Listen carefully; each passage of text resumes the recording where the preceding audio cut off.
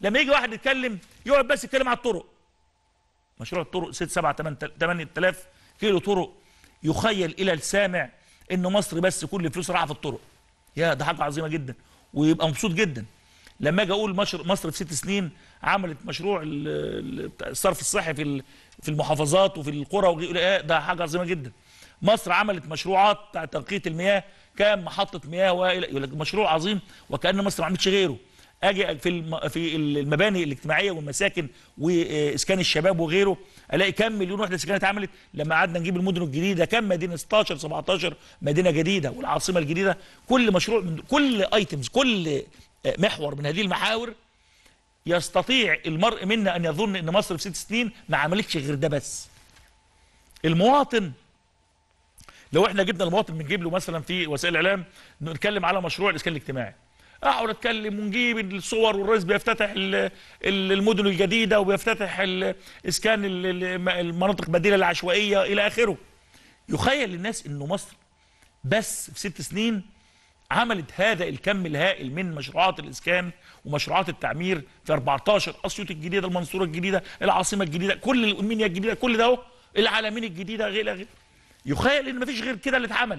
وأنا بكلم الناس يعني أنا أنا بكلم كل الناس كل الشعب المصري بقول له افتكر بس وإحنا ممكن يعني بسرعة يا يا شباب والله لو أنتوا معايا كده نجيب الحاجات دي.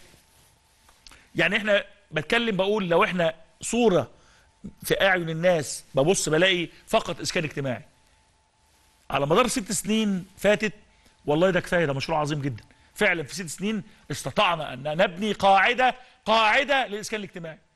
طيب لما أجي بعد شوية أتكلم أقول والله يا جماعة إحنا عملنا مدينة عملنا اسمها آه، آه، جامعات جديدة كام جامعة أهلية وكام وكام وكام وكام كل الجامعات في ست سنين. وبعدين آجي أعمل طرق في ست سنين. آجي أعمل الموضوع بتاع اكتشافات الغاز والبترول في ست سنين. آجي أعمل السكة الحديد والمشروعات اللي تمت في قطاع السكة الحديد ومترو الأنفاق والكباري والطرق في ست سنين. كل ده. قناة السويس الجديدة في ست سنين. أنا أنا بتكلم بفكر المشاهد الكريم. بقول له ما تم إنجازه. والله مش عنوان والله مش كلام والله مش نوع من التسويق والله ما نوع من ال- التطبيل والله ما نوع من المجاملة. أنا قاعد بفكر معاكم. أنا كل ده اللي جابني للكلام اللي بقوله خبر الرئيس النهارده وهو بيستقبل أمين عام منظمة السياحة العالمية. فبقول هو الراجل منبهر ليه؟ أنا بسأل نفسي. هو الراجل جاي وإحنا محتفين بيه عشان محتاجين نفتح البلد سياحية. طب هو الراجل جاي مصر ليه؟ لأنه لقى ان مصر فيها جديد. إيه الجديد اللي في مصر؟ الآثار ما هي هي يا جماعة والدنيا هي أبص بال بال بمنطق وبعين آه، مجردة ألاقي عندي عناوين أو أو مشروعات من سنين ما كانتش موجودة أصلا. ده اللي لفت نظري وأنا بتكلم قدام حضراتكم دلوقتي. يعني فعلا دلوقتي مشروع الجلالة. لسه كان أصدقائي في الأيام اللي فاتت إحنا جلالة بيحكوا لي أساطير على الجلالة وجمال المنطقة والطبيعة وغيره. منديل العالمين. أنا وأنا رايح مرسى مطروح شفت مدينة العالمين؟ أنا منبهر. والله وكأني يعني مين؟ لا. في في منهاتن في نيويورك. ال- البنايات العملاقة وال وال والأبراج العملاقة اللي موجودة في العالمين. الجديدة حاجة تدعو مش ممكن. في واختيار أهادي دي العالمين قدامنا صور. الله يفتح عليك يا إبراهيم. الله يفتح عليك يا أستاذ طلعت ال ال ال ال البنايات اللي قدامنا اللي إحنا الله يفتح عليك يا أستاذ عطية. البنايات العظيمة اللي قدامي دي دي صنعها المصريين بفكر مصري والأرض موجودة بالمناسبة من آلاف السنين. هي الأرض موجودة. مين اللي فكر وخد القرار ونفذ وتابع وحاسب وطلع بهذا الشكل العملاق؟ مين؟ اهو قدامنا أهو. أنا بقى أنا بترك بترك الحكم للناس. بترك الحكم لأهالينا في كل مكان.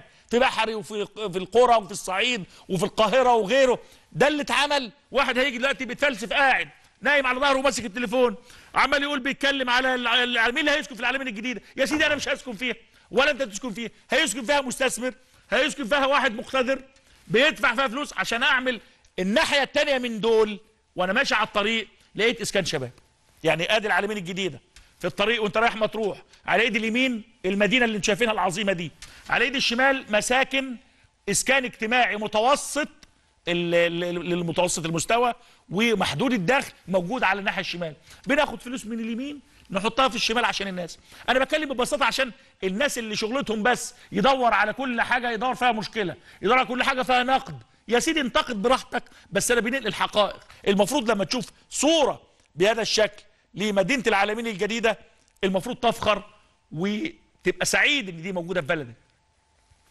ادي ادي هي دي كانت موجودة يا جماعة. دي كانت أرض مرمية بلا صاحب. أرض ملك الدولة غير مستغل.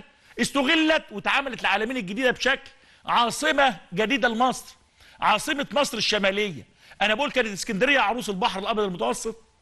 امتد إلى وجه الإسكندرية الكثير من فاكرين وتعلية ومشاكل وغيره وغيره وزيادة سكانية. في الآخر الامتداد الطبيعي الاسكندريه غرب الإسكندرية اللي هو مدينة العالمين الجديده زي القاهرة دخلنا شرق القاهرة دخلنا العاصمة الجديدة إلى آخره. دي المدينة ال- ال- المدينة آه، آه، مدينة العالمين. لما أجي أقول العالمين ما كانتش موجودة قبل ست سنين خالص. كل ما يدور في ذهن الناس على كلمة العالمين الحرب العالمية والمتحف بتاع الحرب العالمية. دلوقتي العالمين بقت حاجة بسم الله ما شاء الله حاجة اجتماع شفتوا أنتوا مجلس وزراء و- و- واجتماعاته هناك وغيره في العالمين. ما كانتش موجودة. دي إضافة لمين؟ إضافة للجيل الحالي إضافة للاجيال اللي جاية مدينة ال- الجلالة نفس الكلام. الجلالة شيء يفوق الخيال. مدينة الجلالة شيء يفوق الخيال. شوفوا إيه شغالين؟ آدي آدي شغالين والله بينحتوا في الصخر.